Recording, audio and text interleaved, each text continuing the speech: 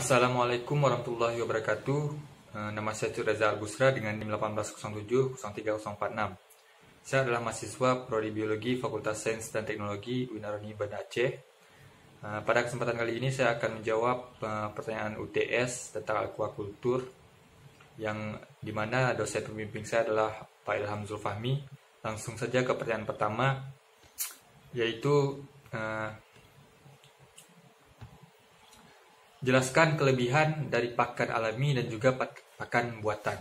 Jadi ke perlu diketahui pakan itu adalah eh, makanan ataupun eh, nutrisi bagi ikan eh, dan hewan ternak lain eh, untuk sebagai makanannya maka diperlukan yang namanya pakan. Jadi pakan itu terbagi dua, ada pakan alami dan juga pakan buatan.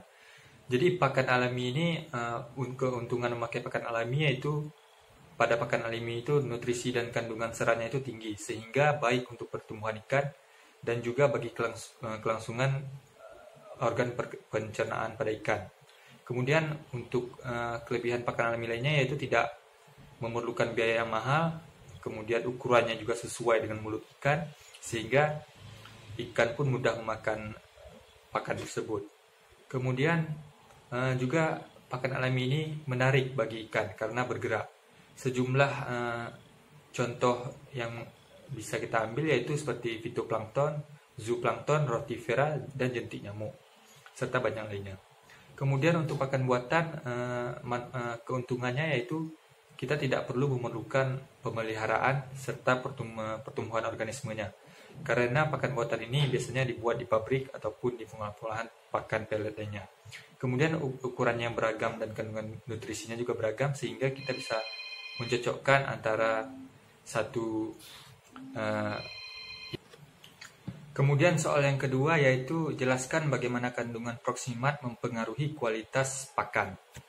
Jadi perlu diketahui eh, proximat itu suatu analisis atau metode tentang eh, analisis kimia untuk mengidentifikasi kandungan nutrisi seperti protein, karbohidrat, lemak, serta serat pada suatu zat makanan atau pada tema kali ini yaitu pakan. Sehingga eh, penggunaan analisis proximat ini sangat bermanfaat bagi kuali- eh, untuk melihat kualitas pakan itu sendiri karena pada akhirnya kita membutuhkan eh, beberapa hal tadi seperti protein, karbohidrat dan lemak serta serat bagi pertumbuhan ikan budidaya nantinya. Sehingga perlu adanya analisis proximat agar kita bisa melihat apakah ikan tersebut telah memenuhi standar nutrisinya atau tidak. Kemudian soal yang ketiga yaitu faktor apa saja yang mempengaruhi kerentanan serangan ektoparasit pada ikan. Jadi ada beberapa hal eh, faktor yang mempengaruhi, yaitu yang pertama yaitu ada faktor eksternal. Faktor eksternal ini lebih ke eh, eh, faktor dari lingkungannya atau perairan itu sendiri. Misalnya ada ikan yang terjangkit ektoparasit karena mungkin lingkungan atau perairan itu tidak baik atau tidak bersih sehingga eh, ikan tersebut terjangkit oleh ektoparasit. Kemudian juga adanya eh, dari faktor hama da- dari hama yang lain atau dari faktor amonia dan ada juga faktor internal yaitu kurangnya nutrisi dari ikan itu sendiri. Misalnya penggunaan pakan yang mengandung bahan kimia atau terjangkitnya parasit dari dalam tubuh ikan itu misalnya seperti endoparasit atau mesoparasit.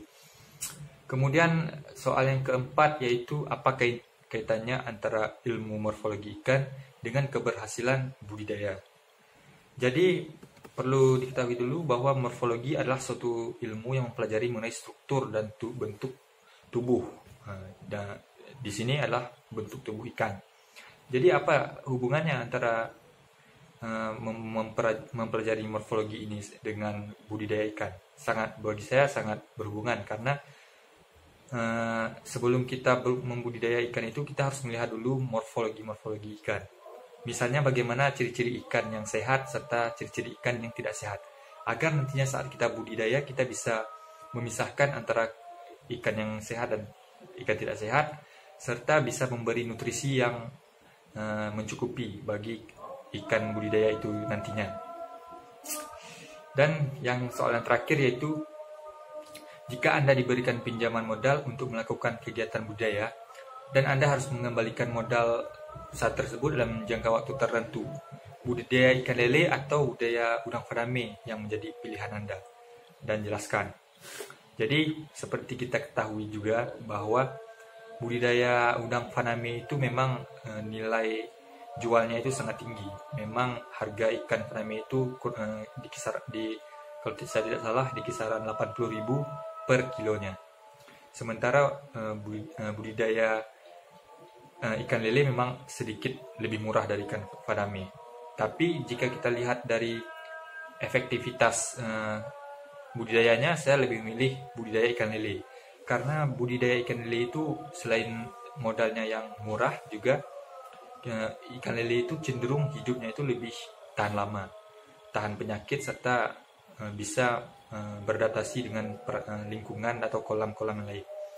Jadi untuk mengembalikan modal usaha tadi sepertinya uh, budidaya ikan lele lebih masuk akal dan lebih relatif lebih, lebih efektivitas uh, daripada budidaya udang faname yang mungkin lebih memerlukan modal yang lebih besar karena dia memakai beberapa teknologi juga uh, memerlukan oksigen memerlukan pakan yang khusus dan sebagainya. Hanya ini jawaban UTS dari saya. Eh, wassalamualaikum warahmatullahi wabarakatuh.